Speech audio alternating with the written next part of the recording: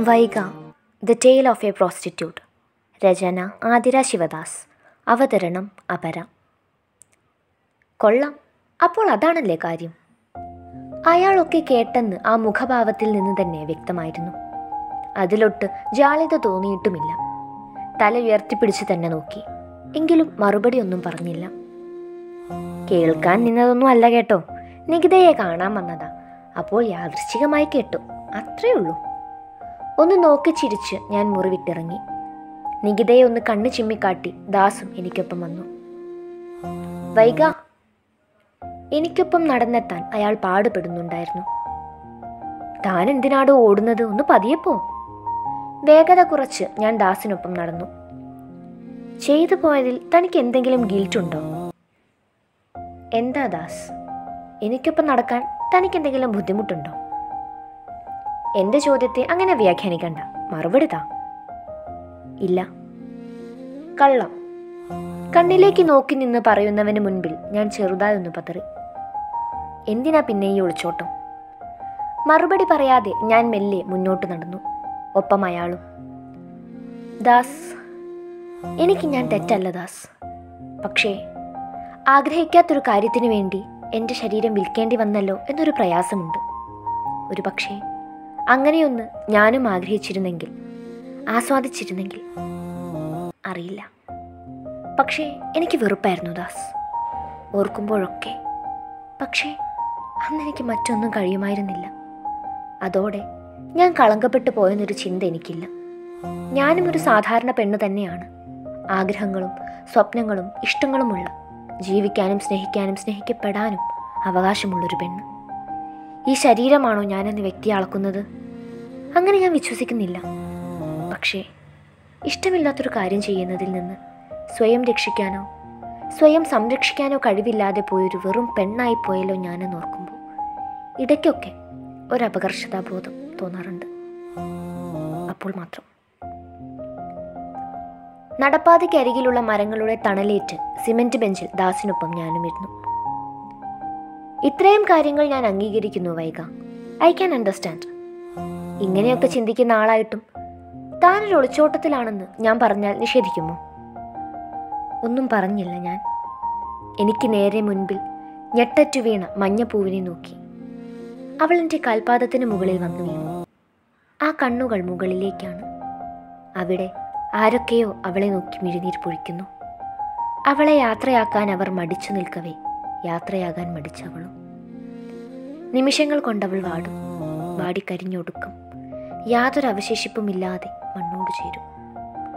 മുകളില മരച്ചില്ലകൾക്കിടയിൽ അവൾക്ക് പ്രിയപ്പെട്ട ആരോ ഒരാളുണ്ട്. ഹൃദയത്തെ അവന് നൽകിയാവണം അവൾ ഞെട്ടറ്റു വീണത്. ഒളിച്ചോട്ടത്തിലാണ് ദാസ്. എന്തിനെന്ന് ചോദിച്ചാൽ എനിക്ക് മറുപടിയില്ല. സ്നേഹം. അതിനു മുൻപിൽ ഇടയ്ക്കൊക്കെ നമുക്ക് തോൽക്കേണ്ടി വരും. സ്നേഹിക്കുന്നവർക്ക് വേണ്ടി വേദനിക്കേണ്ടി വരും. എനിക്ക് തന്റെ ജീവിതം അറിയില്ല വൈക പക്ഷേ ഒന്നും ഞാൻ പറയാം. സംഭവിച്ചത് സംഭവിച്ചു. അത് തന്റെ നിസ്സഹായതയായിരുന്നു. പക്ഷേ തനിക്കുള്ളിലെ ഈ അപകർഷതാബോധം അത് കാരണം നഷ്ടം മറ്റാർക്കോ കൂടിയാണെന്ന് തോന്നുന്നു. തന്നെ ഏറെ സ്നേഹിക്കുന്ന മറ്റാർക്കോ കൂടി. അതും പറഞ്ഞ് ദാസ് നടന്നു. ഞാൻ പിന്നെയും ഏറെ നേരം അവിടെ തന്നെ നിന്നു. അയാൾ എന്നെ ചിന്തകളുടെ ഇടുങ്ങിയ വഴിയിൽ നിന്നും വലിച്ചു പുറത്തേക്കിടാൻ ശ്രമിക്കുന്നു. വിശാലമായൊരു പാതയിലേക്ക് എന്റെ ചിന്തകളെ തിരിച്ചുവിടാൻ ദാസ് ശ്രമിക്കുന്നുണ്ട്.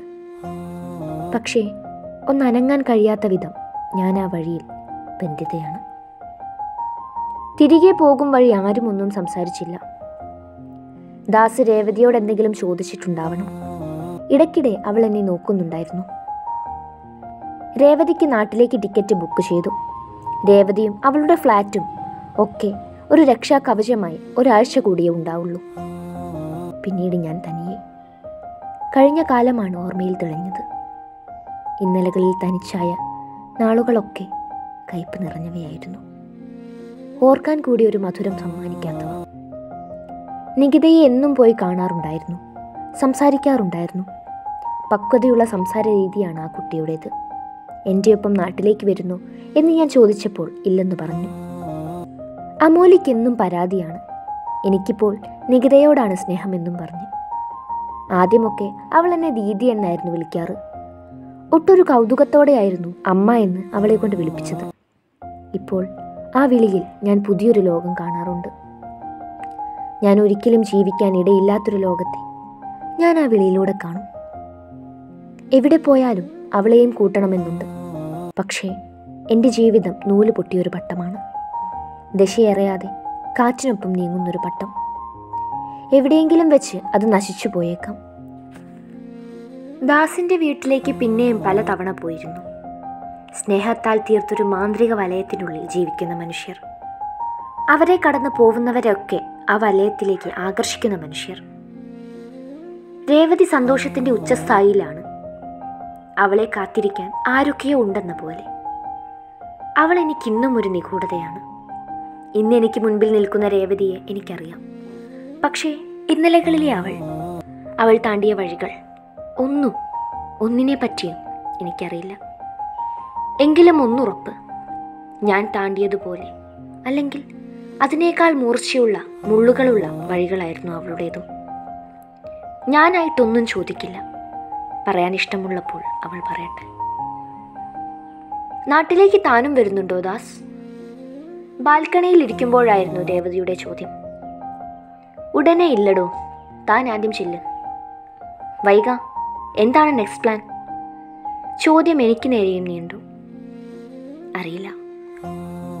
എനിക്കൊപ്പം വന്നൂടെ? നിസ്സഹായതയോടെ ഞാൻ അവളെ നോക്കി. അവിടം എന്നെ വല്ലാതെ മോഹിപ്പിക്കും. സ്വപ്നങ്ങൾ തന്ന് ഒടുക്കം നോവിക്കും. വേദനയുടെ പടുകുഴിയിലേക്ക് ഞാൻ സ്വയം മുങ്ങിത്താഴും. എല്ലാ സ്ത്രീകളും വ്യഭിചരിക്കപ്പെട്ടവരല്ലേ? കസേരയിലേക്ക് ചേർന്നിരുന്നു കൊണ്ടായിരുന്നു ദാസിന്റെ ചോദ്യം. ഞാനും രേവതിയും സംശയത്തോടെ മുഖാമുഖം നോക്കി. അത്യാവശ്യം കോംപ്ലിക്കേറ്റഡ് ആയൊരു ചിന്ത ഇപ്പോൾ അയാളുടെ തലയിലുണ്ട്. അങ്ങനെയെങ്കിൽ എല്ലാ സ്ത്രീകളും കളങ്കപ്പെട്ടവരാണ്. സ്വപ്നങ്ങൾക്ക് ചിറക് നൽകാതെ സ്വയം ഉരുകാൻ വിധിക്കപ്പെട്ടവർ. എത്രയോ തവണ ഈ സ്ത്രീകളൊക്കെ നഗ്നരാക്കപ്പെട്ടിരിക്കുന്നു. ഓരോ പുരുഷന്മാരുടെയും ചിന്തകളിൽ അവരൊക്കെ ഭോഗിക്കപ്പെട്ടിരിക്കുന്നു അവരുടെ സ്വപ്നങ്ങളിൽ. എവിടെയോ വായിച്ചതാണ് കേട്ടോ സ്വന്തം ചിന്തയല്ല. ഒന്ന് നിർത്തി കുറച്ചുനേരം ഞങ്ങളെ രണ്ടാളെയും നോക്കി. സ്ത്രീ ശരീരം നോർമലൈസ് ചെയ്യപ്പെടേണ്ട കാലം എന്നെ അതിക്രമിച്ചിരിക്കുന്നു അല്ലേ. ദാസ് പറയുന്നത് അത്രയും എന്നോടാണ്. ഞാൻ കേൾക്കാൻ വേണ്ടിയാണ്. ആർക്കാണ് വൈക നീ നിന്റെ പ്രണയം നിരസിക്കുന്നത്? നിനക്കൊപ്പം മറ്റാരെയാണ് നീ വേദനിപ്പിക്കുന്നത്? മറുപടി പറയാതെ ഞാൻ കുനിഞ്ഞിരുന്നു. അയാൾക്ക് മുൻപിൽ എന്റെ കള്ളം പിടിക്കപ്പെട്ടതുപോലെ ഒരു കള്ളിയെപ്പോലെ ഞാൻ കുനിഞ്ഞിരുന്നു. ഒരു ഏറ്റുപറച്ചിലിന് നേരം വന്നിരിക്കുന്നു. അമീർ. അത്ര മാത്രമേ നാവിൽ നിന്നും പുറത്തേക്ക് വന്നിരുന്നുള്ളൂ. ആ വാക്കിൽ അത്രയും പ്രണയമാണ്. ഹൃദയം കവിഞ്ഞൊഴുകാൻ വെമ്പി നിൽക്കുന്ന പ്രണയം. എന്നെ അവൻ കാത്തിരിക്കുന്നുണ്ടാവും ദാസ്. ഞാൻ തിരികെ ചെല്ലുമെന്ന് പ്രതീക്ഷിക്കുന്നുണ്ടാവും പക്ഷെ എനിക്ക് കഴിയില്ല. അവന് ഞാൻ വേണ്ട. അവന് ഞാൻ വേണ്ട. എന്തുകൊണ്ട്? താൻ തന്നെയല്ലേ പറഞ്ഞത്? താൻ കളങ്കപ്പെട്ടവളല്ലെന്ന്. പിന്നെ എന്തിനിങ്ങനെ? ഏറെ നേരത്തിന് ശേഷം ഞാൻ എന്റെ കഥ അവരോട് പറഞ്ഞു. തെങ്ങോലകളുടെ ഇലക്കീറിലൂടെ ആകാശത്തൊരു നേരിയ വെളിച്ചം കാണാൻ കാത്തിരുന്ന കാലം മുതൽ ഇന്നീ നിമിഷം വരെയുള്ള കഥ. ആദ്യമായിരുന്നു ഞാൻ അനുഭവിച്ച മാനസിക സംഘർഷത്തെ ഞാനല്ലാതെ മറ്റൊരാൾക്ക് മുൻപിൽ ഞാൻ വിവരിക്കുന്നത്. ഇടയ്ക്ക് ഞാൻ കരഞ്ഞിരുന്നു. പലതും പറയാൻ അറച്ചിരുന്നു. മറുപടികൾ ഏതുമില്ലാതെ അവർ രണ്ടാളും എന്നെ കേട്ടു. ഒടുക്കം അഭിപ്രായങ്ങളും കുറ്റപ്പെടുത്തലും ഇല്ലാതെ ചേർത്ത് നിർത്തി. അന്നത്തെ രാത്രി ഉറങ്ങാൻ കഴിഞ്ഞില്ല. വലിയൊരു ഭാരം ഒഴിഞ്ഞു പോയതുപോലെ. പക്ഷേ തവിട്ട് നിറമുള്ള കണ്ണുകൾ ചിന്തകളിൽ നിറഞ്ഞു നിന്നു. ആ രാത്രിയിൽ അവ എന്നിൽ ആധിപത്യം ഉറപ്പിച്ചു. മിഴികൾ പൂട്ടാതെ അവനും ചിന്തകളിലായിരിക്കുമോ എന്നെക്കുറിച്ചുള്ള ചിന്തകളിൽ. ഇവിടെ വന്നതിൽ പിന്നെ അവനെക്കുറിച്ചൊന്നും അറിയാൻ ശ്രമിച്ചിട്ടില്ല. പക്ഷേ ഇന്ന് അമീർ അവനെന്ന ചിന്ത എന്റെ തീരുമാനങ്ങളെ ഭരിക്കുന്നു. നേടിയെടുക്കാനല്ല ദൂരെ നിന്ന് കാണാൻ. അതിനും അവകാശമില്ലേ? അർഹതയില്ലേ? നാട്ടിൽ തണൽ എന്ന പേരിലൊരു ട്രസ്റ്റ് തുടങ്ങാനുള്ള എല്ലാ ഏർപ്പാടുകളും ദാസും രേവതിയും ഇവിടെ നിന്നുകൊണ്ട് തന്നെ ചെയ്തിരുന്നു. ശാരീരികമായി ചൂഷണം അനുഭവിക്കുന്ന അൻപതോളം പെൺകുട്ടികളെ ചില മനുഷ്യരുടെ സഹായം കൊണ്ട് ഇതിനോടകം കണ്ടെത്താൻ കഴിഞ്ഞിരുന്നു. ഓരോ ഫോൺ കോളും രേവതിക്ക് വരുമ്പോൾ നെഞ്ചിലൊരു പിടപ്പാണ്. പുതിയൊരു വൈകയെ ആരോ എവിടെയോ കണ്ടെത്തിയിരിക്കുന്നു. ജീവിതം അടുത്തുപോയവർ ഡിപ്രഷൻ അനുഭവിക്കുന്നവർ ഇരകൾ. അതെ ഇരകൾ.